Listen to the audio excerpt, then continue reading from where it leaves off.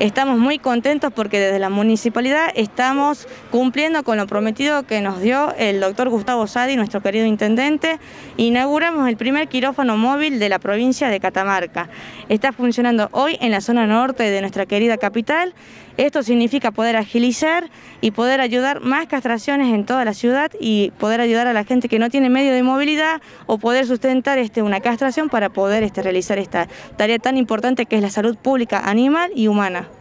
¿Cómo va a ser el operativo y cómo va a continuar por, por otros barrios?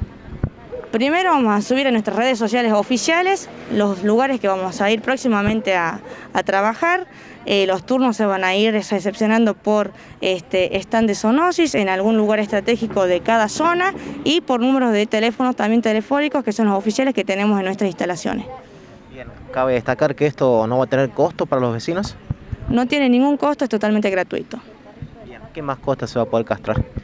Aparte de las castraciones quirúrgicas, tenemos eh, vacunación antirrábica y atenciones primarias. También tratamos el tema de la enfermedad sarna, que es lo que más se ve en, la zona norte y sur de la ciudad.